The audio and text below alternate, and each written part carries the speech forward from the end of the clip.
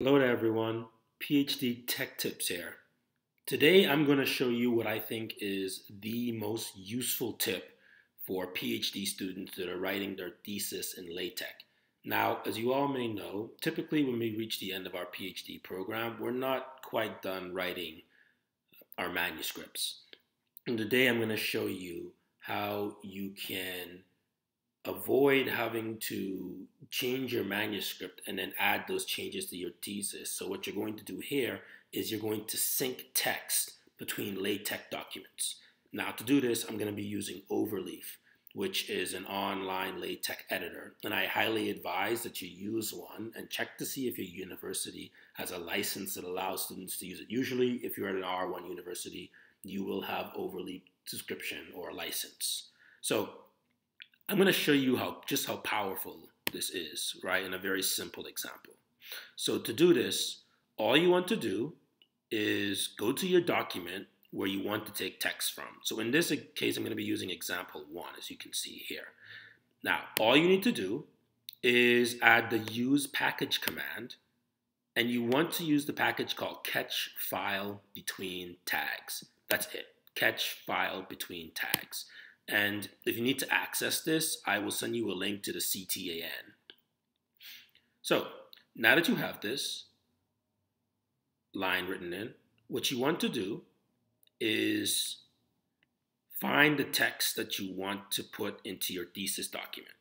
So let's say we'll use this paragraph right here. And it can be paragraphs, it can be any type of command that you want, as long as the command can also be used in the other document. So for this uh, case, I'm just going to be using a paragraph, right, just to show you a, a simple example. So what you want to do is place a tag.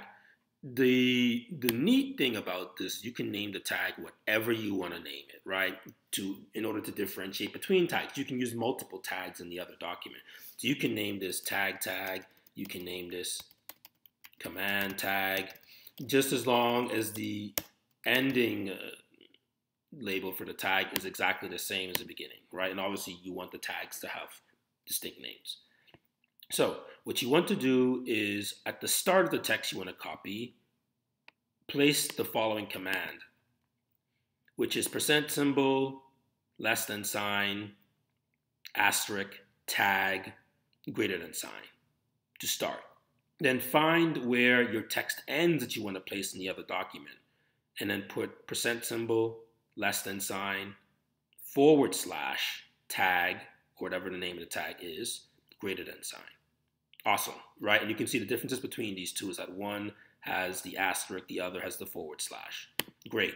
So you've done this. Now what you want to do is save, obviously. Make sure that things are saved. Now, what I want to do, and obviously if you didn't know, Overleaf automatically saves documents. It's just the compiling that I just completed. So now what you want to do is go to your other example. So I have an example two here saved in another tab. Now, what you want to do first before you sync any text, you want to add the tech file from the other document into this project. What do I mean by that? Well, maybe it's better to show you. What you want to do is upload, and then from another project, select the project. And so the project that we're going to be choosing is example two right? And then the file we're, uh, we'll be selecting is main.tex, and then you will be selecting the file uh, main.tex, and it'll display the name here, but you want to change that name to something else, and so you already have main.tex in this document. So I changed it to main1.tex, and I'm not going to upload it since I've already done it, but you want to go through this and then press create. So you can see I already have the main1.tex file here, and uh, main.tex is the document that I'm working from right? And of course, you can change the settings to decide which file is the main one. But what's important here is that the main one text file looks sort of like this when you press on it. And so that means that whenever you make changes to your original document, in order to sync those changes, all you would need to do is press refresh. Okay, so back to the document. I'm going to show you exactly how you can sync the text. So what you want to do is have your use package catch file between tags located, obviously. Now let's say I want to place the text at the beginning of the document.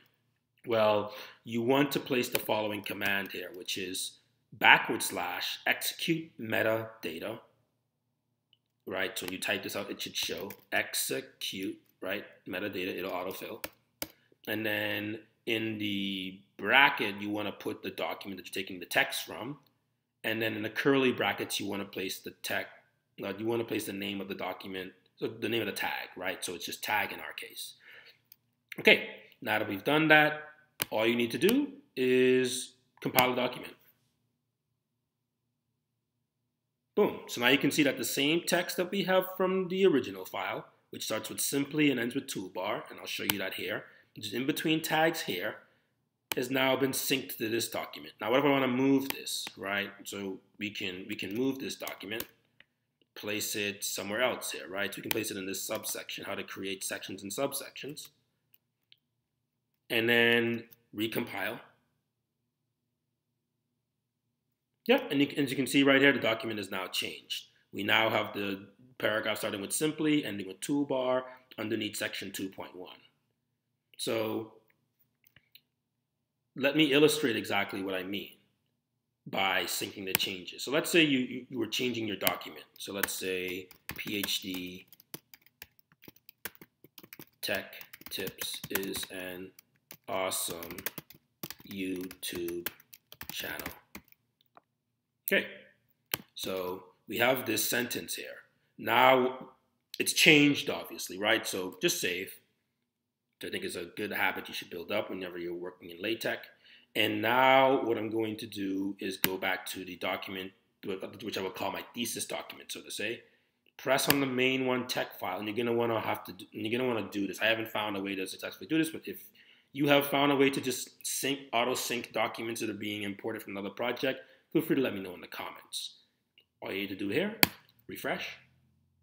And now you should see that the changes have been implemented uh, at the end of this uh, sentence here, right? PhD Tech Tips is an awesome YouTube channel.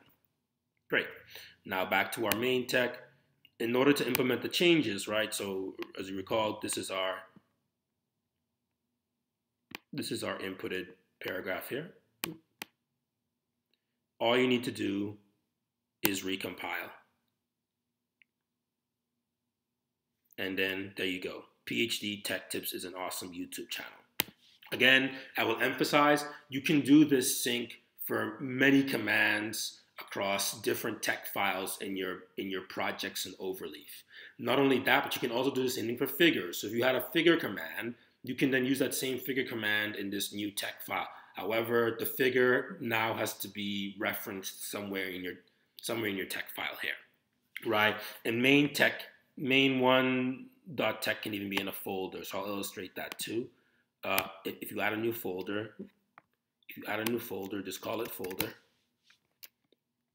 and then add main one dot tech here. You can change the naming here to folder slash main one dot tech